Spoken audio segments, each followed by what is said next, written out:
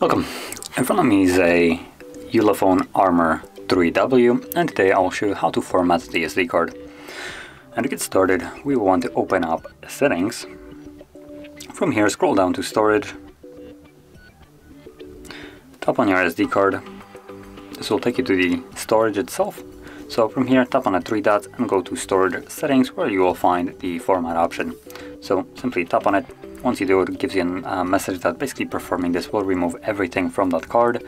And if there is anything that you'd like to keep, well, then obviously back it up beforehand, otherwise you lose it permanently. But assuming you have already done it, or you don't want to, tap on Format SD card. This will immediately begin the process, and it only takes a couple of seconds.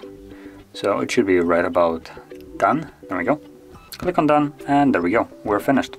So if you found this video helpful, don't forget to hit like, subscribe and thanks for watching.